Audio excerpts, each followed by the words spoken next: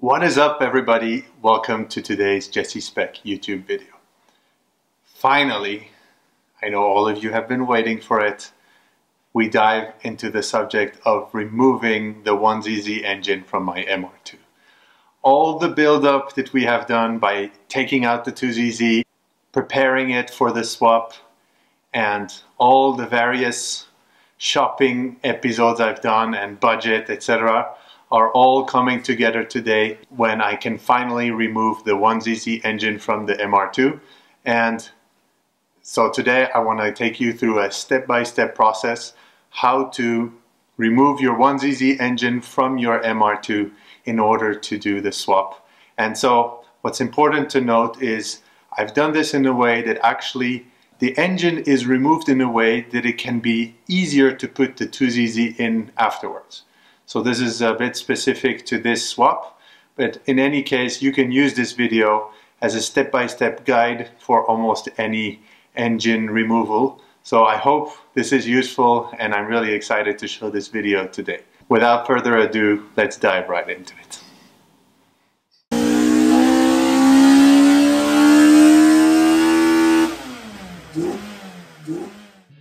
Okay, welcome back to the workshop.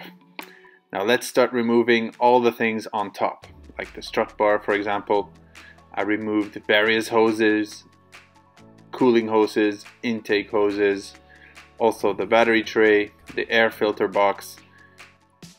Basically as much as possible in order to have as little things connecting the engine to the chassis of the car. Now let's remove the exhaust. That one's also pretty difficult to remove because it would be probably much easier to remove the exhaust with the bumper removed and unscrewing the screws from the top. But of course, it took me 15 minutes to realize that. So let's get into emptying the fluids, the oil and everything, until my friend decided to start gossiping. Si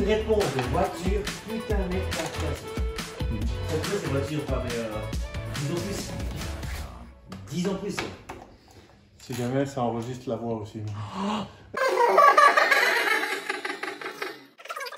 okay, enough gossiping. Let's drain this oil. In the meanwhile, I'll be checking around a little bit to see what I have to take apart exactly in order to remove other parts of the engine.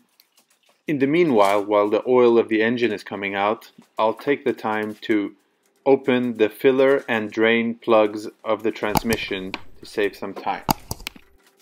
Since this disgusting engine oil is still not finished from running out, I took the time also to remove a few of the Cusco reinforcement parts so I can now finally empty the transmission oil that hopefully will come out quicker.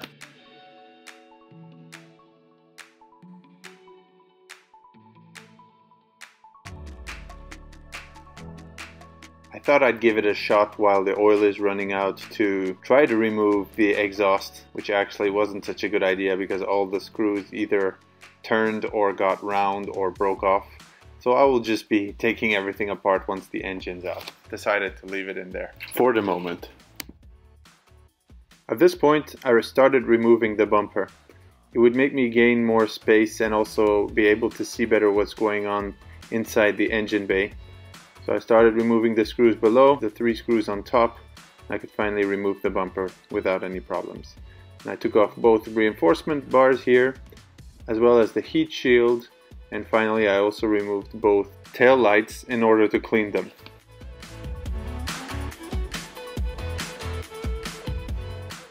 The next step, I would then remove the rear wheels, and then I would do that in order to actually be able to remove the center locking nuts in order to remove the drive shaft. So as you can see, I had to actually use a huge bar to unblock them because they were really very tight. Even with my impact gun, I couldn't unscrew them. So once I realized that taking the center locking nut wasn't enough and that I had to remove all the arms, I decided to do that, which allowed me then to take off the drive shafts.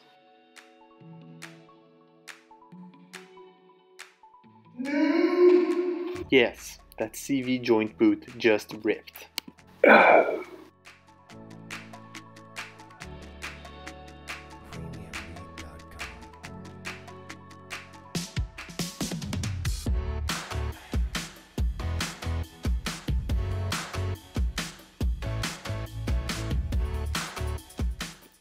At this point, I'm removing the slave cylinder for the clutch and the next point will be to remove the last arms.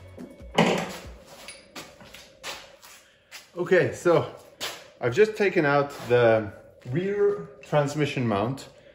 There was absolutely no tension on it, so I thought it was the good moment before I go back down with the car to unbolt everything that is from the top of the car. As you can see, I could get this out really easy. It's something that will be in the way once I take the engine out. So uh, that's how I'm gonna, I decided to take it out right now. So to make a little summary before I put the car back down. So I've taken out all the bumper. I've taken out a big part of the exhaust.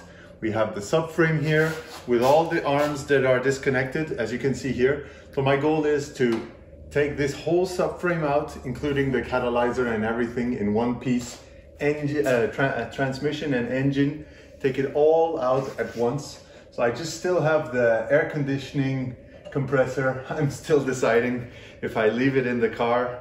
Of course, it's nice to have a track car where you, when you have uh, air conditioning in it in summer, but honestly, I'm not quite sure yet. So I'm still thinking about that. We'll decide when going along and seeing how it's going with the whole taking everything apart. So as you can see here, we have almost everything out of the way, ready to take it out. And now we're gonna put the car back down and see uh, what we have to take apart from the top, also from an electrical perspective.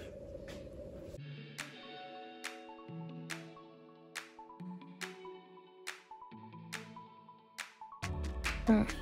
All right, so we're removing the ECU right now. As you can see, I took off the hardtop. The ECU can be seen inside here.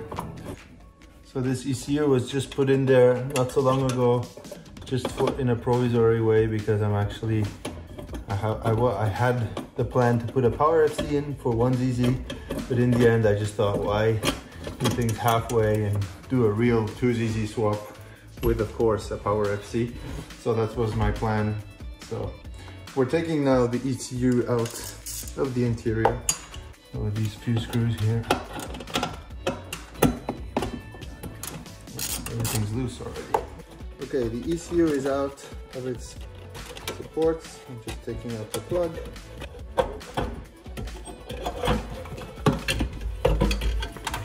Here we have the stock 1ZZ ECU. So the next step will be now to take all the harness, the loom, and pull it out through the underside. So see here, I managed to put the, this is the engine loom. I'm gonna put it through the hole here and we'll pull it out on the other side. All right, let's remove the battery tray here.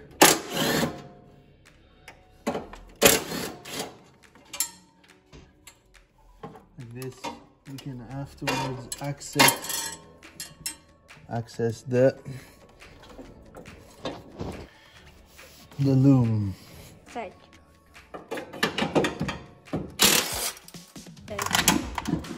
Okay, so we're getting the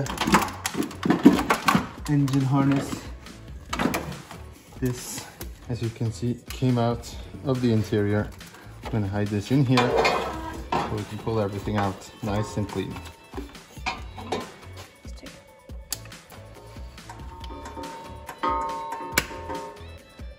Yeah, I'm gonna start emptying all the cooling fluid.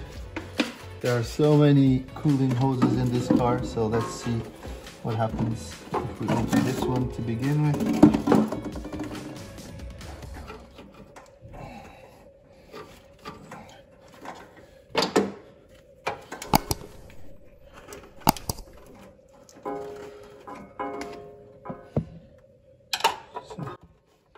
I didn't film that process. However, removing the cooling, all of it, the best thing to do is actually go to the lowest hose in the engine bay, remove that one without spilling everything all over the place, of course, and drain everything through there. In the meanwhile, while the cooling fluid is draining out, I decided that I would start removing all the fuel lines to see how I can get the engine out in the easiest way without removing or uncoupling unnecessary hoses. And I actually came to an interesting finding that actually will uh, help me get the things out quicker. And this is how I decided What I've done is, this is a little trick, is I've removed all the injectors from the fuel rail right here.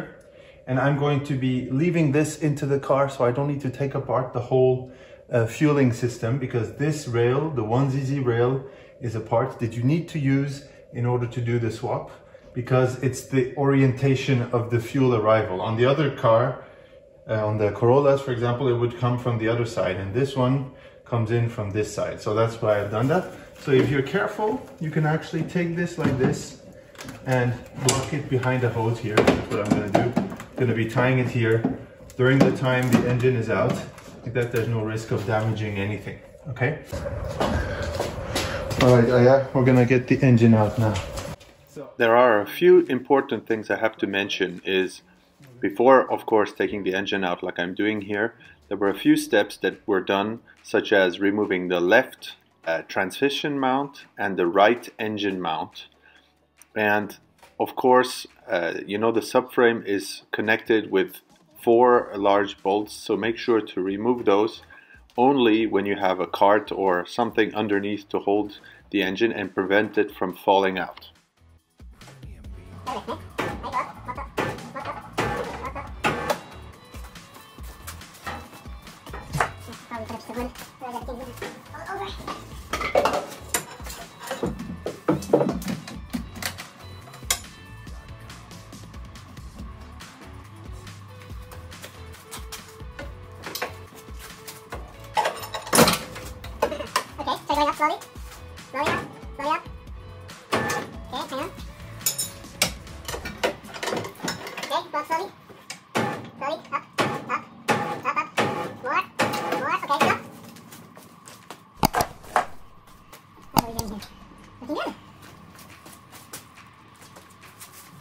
Okay, go up slowly.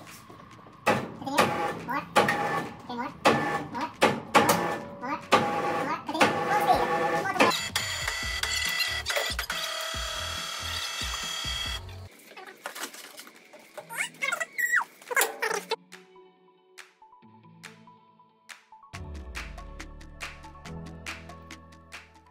Happy days. As you can see, the engine is out.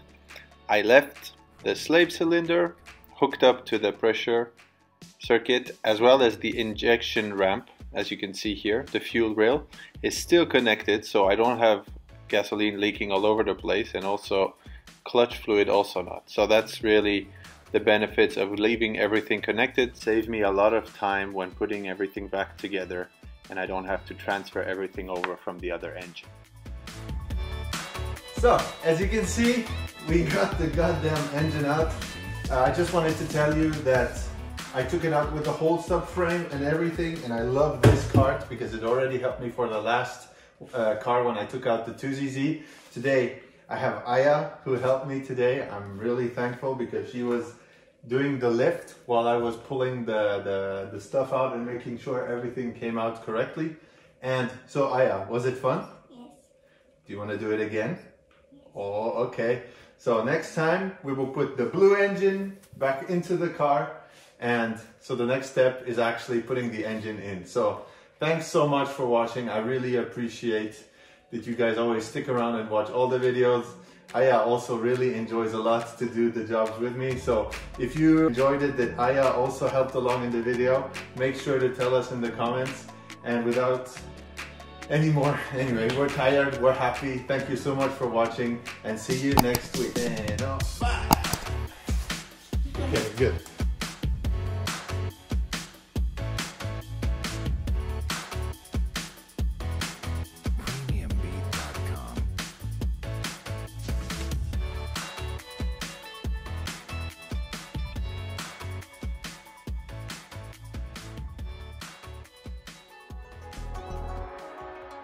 Thank you so much for watching the episode until the end. I really appreciate that. If you like what you saw, do not forget to subscribe. Like this, you can see all our episodes we post. If you have any comments or questions, make sure to shoot us a comment below. Until then, see you next week.